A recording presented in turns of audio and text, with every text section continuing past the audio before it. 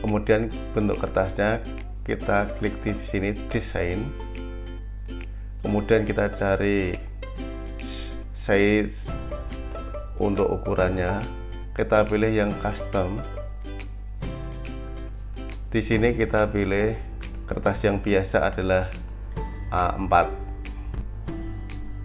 ini contoh flyer yang telah kita buat tadi Assalamualaikum warahmatullahi wabarakatuh.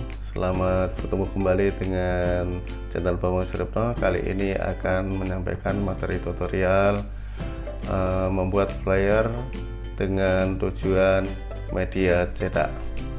Untuk itu marilah sebelumnya kita ucapkan Bismillahirrahmanirrahim. Semoga tutorial kali ini dapat membawa berkah untuk pertama-tama kita buka dulu powerpointnya. Kemudian kita pilih belangko kosong. Karena ini nanti kita harapannya kita buat flyer kita untuk dicetak di print out maka kita yang perlu disiapkan pertama adalah bentuk kertasnya. Maka ini kita hapus kemudian bentuk kertasnya kita klik di sini desain. Kemudian kita cari size untuk ukurannya. Kita pilih yang custom. Di sini kita pilih kertas yang biasa adalah A4 A4 bentuknya kita milih mau landscape atau portrait. Kita pilih yang tegak aja kemudian kita oke. Okay. setelah muncul seperti ini kita pilih ukuran yang maksimal. Sehingga bentuknya memanjang seperti ini. Kalau sudah seperti ini maka kita mulai mendesain seperti biasa. Eh, kita pilih sabes untuk memberi eh, bingkai ini supaya berwarna.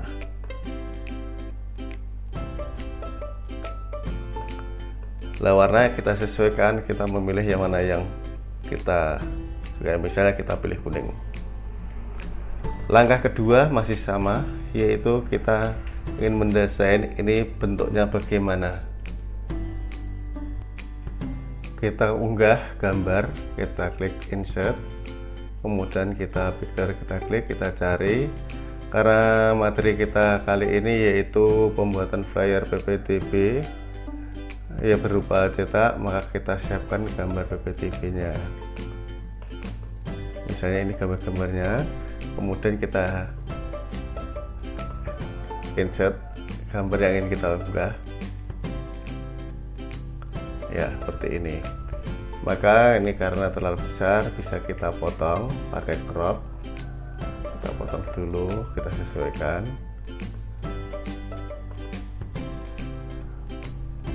Ya. Kemudian kita perkecil.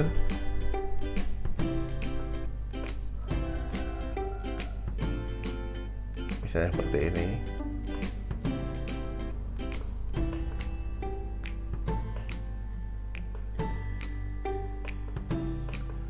kemudian kita tambahkan lagi foto lagi. Insert picture gambar pembelajaran.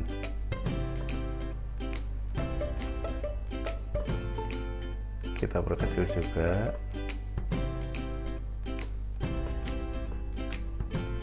Misalnya posisinya kita atur demikian mungkin kalau ini besar bisa kita potong.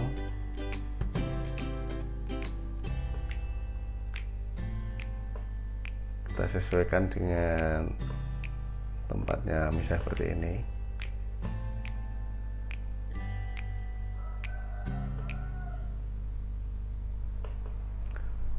Kemudian kalau masih kurang kita unggah lagi gambar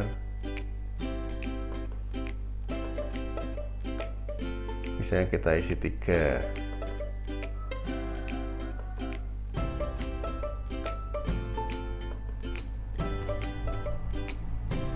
Kita perkecil.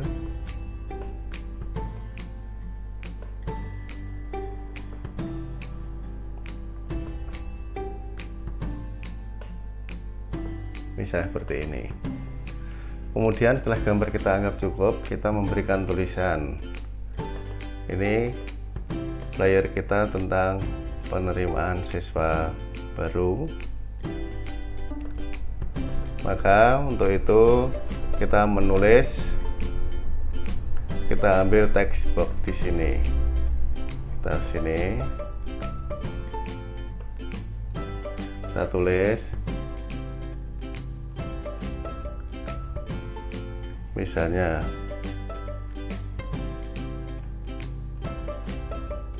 penerimaan siswa baru tahun pelajaran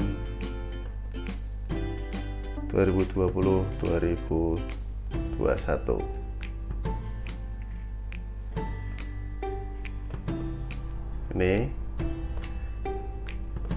kita atur kita perbesar misalnya. Seperti ini kita ratakan tengah. Warnanya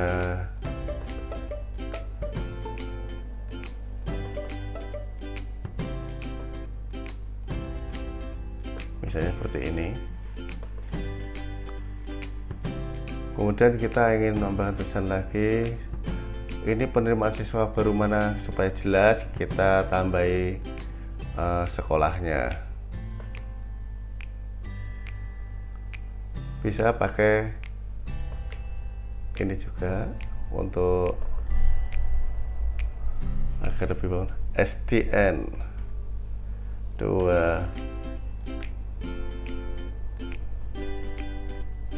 misalnya seperti ini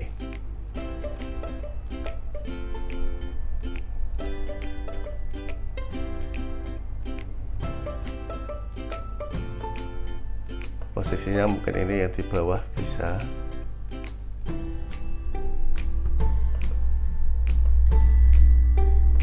Yang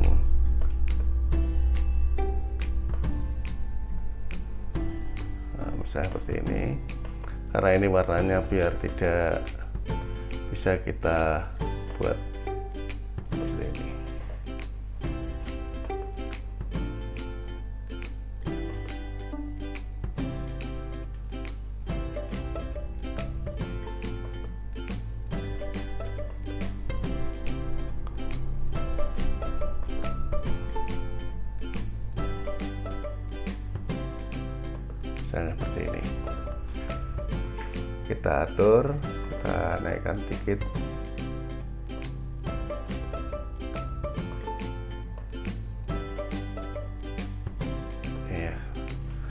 SDN 2 Mukerjo penerimaan siswa baru tahun pelajaran.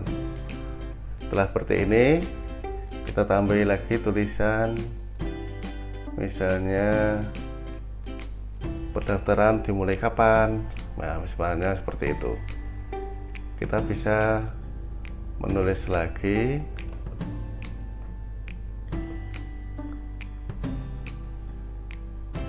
saya di sini kita tulis. Pendaftaran.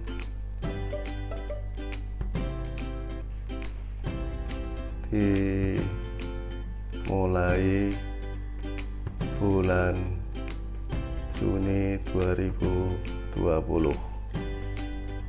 misalnya seperti ini. Kita atur pewarnaannya misalnya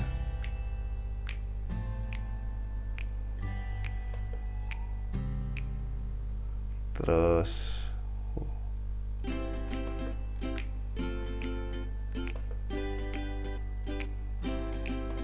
bisa seperti ini. Kemudian kita ratakan tengah.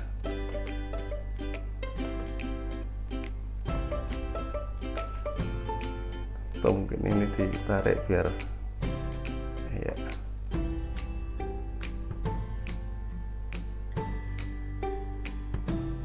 nah seperti ini.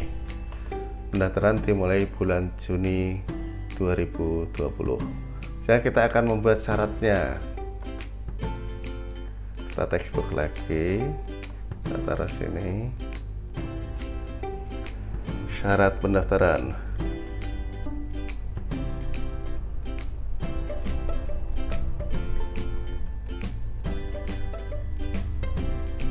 misalnya satu.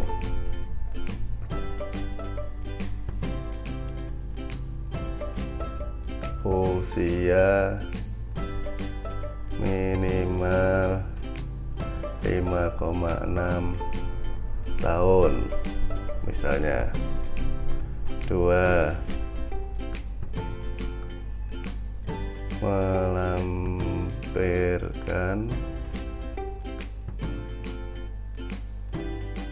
akta fotokopi ya melampirkan fotokopi.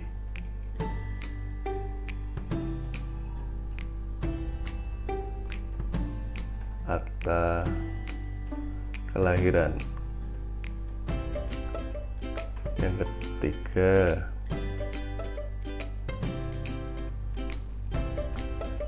Melampirkan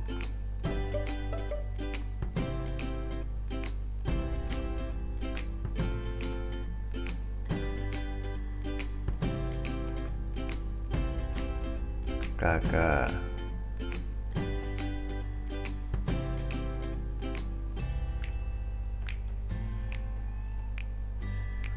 yang keempat misalnya melampirkan surat keterangan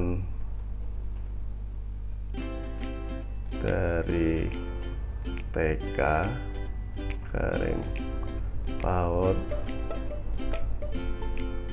ini kita tulis jika memiliki.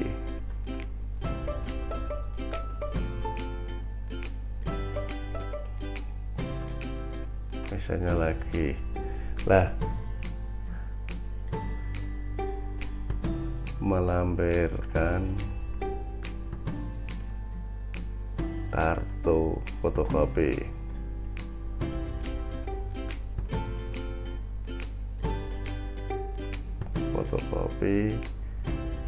kartu PIP dalam kurung jika punya.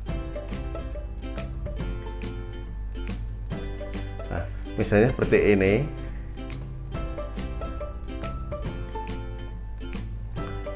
Nah ini syarat-syaratnya.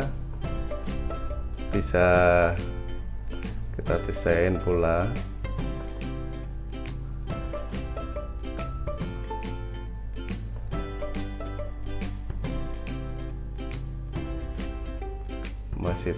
misalnya tadi strategi seperti ini.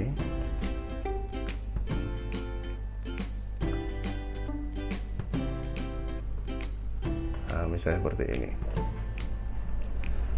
Syarat pendaftaran. Terus misalnya kita akan menampilkan pula misalnya setelah syarat memberikan daya tarik. Misalnya kita promosikan yaitu prestasi.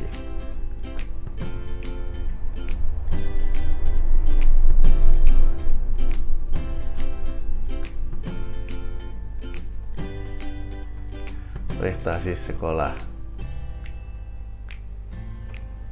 Misalnya satu juara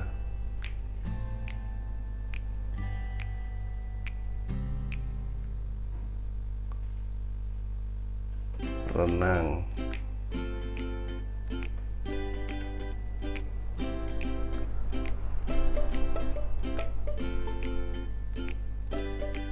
Tingkat kecamatan misalnya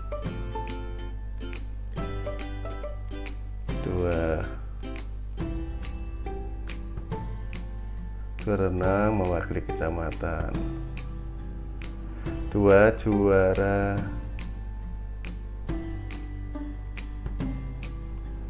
Satu.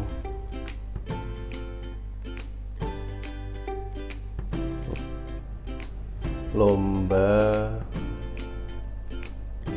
OSN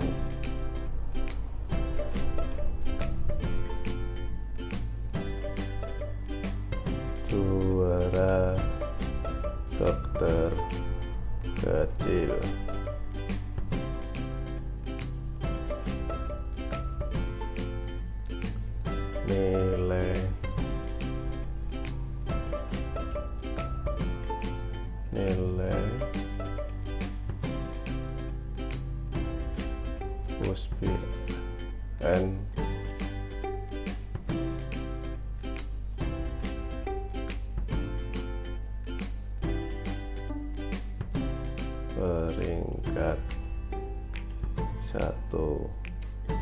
Tahun 2018 2019 misalnya ini. Terus kita tampil lagi di mana kalau kita mendaftar online. Misalnya seperti itu. Untuk menghindari uh, kerumunan massal misalnya kita tuliskan di sini adalah linknya. Link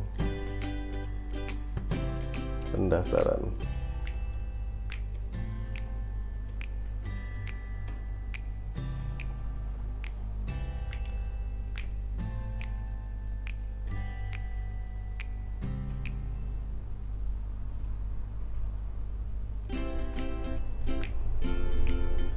http bit.ly garing ppt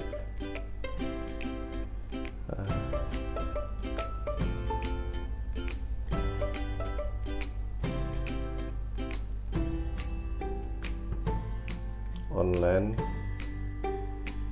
SDN 2 Purjo. Misalnya ini linknya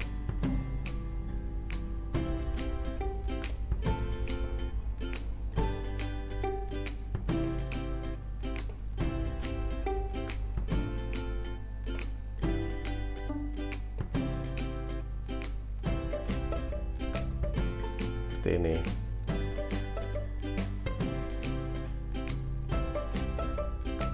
Ataupun kita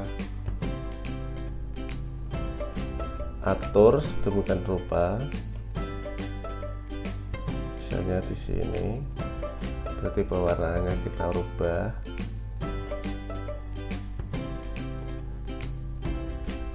Kita ganti warnanya bisa ini supaya ini juga kita beri warna. Misalnya ini. Kemudian wah gak usah gitu kan Oke, kita degradasi aja. Misalnya teksturnya. Oke. Ini. Terus kemudian teksnya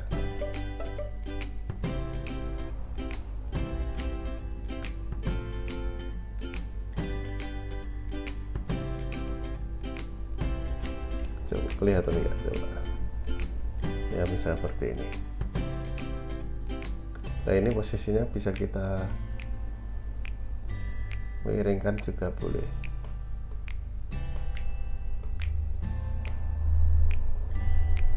misalnya seperti ini.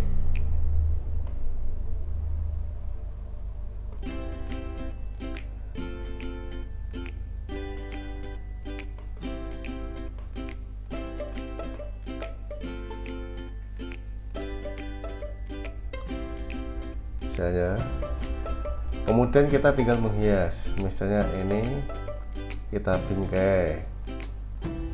Kita break format kita beri bingkai misalnya kita ingin membingkai seperti foto.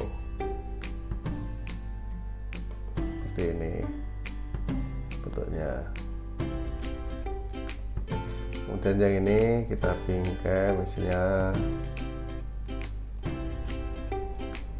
file ya seperti ini.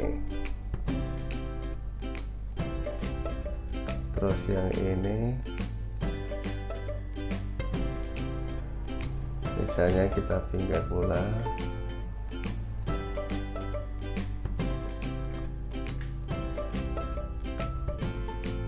pakai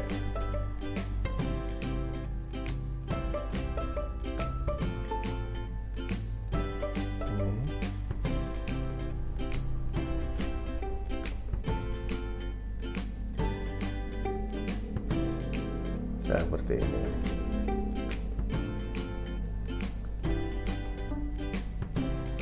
kita bingkai pula kita samarkan aja.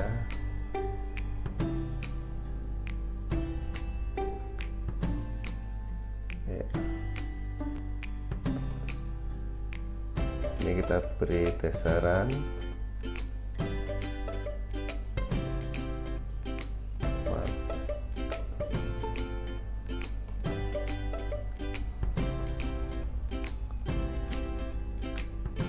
nggak sama yang lainnya misalnya oh, sama ya ganti aja.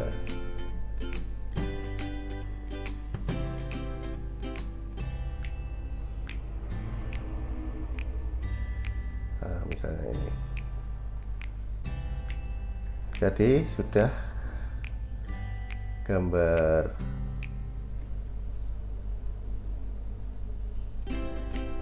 untuk flyernya sudah jadi. Sudah cukup. Kalau ini sudah cukup ini mungkin ini kurang jelas bisa kita baca hurufnya pakai biasa saja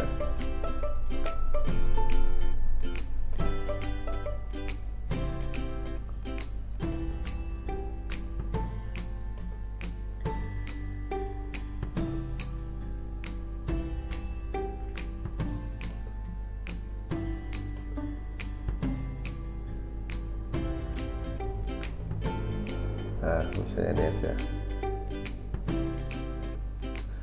biar jelas. Demikian untuk pembuatan flyer. Terus langkah selanjutnya adalah ini kita simpan. Kita simpan ke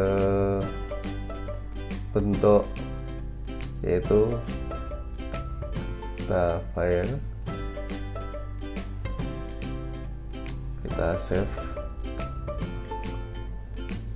Seperti biasa. Untuk presentasi misalnya PPT PT PPTB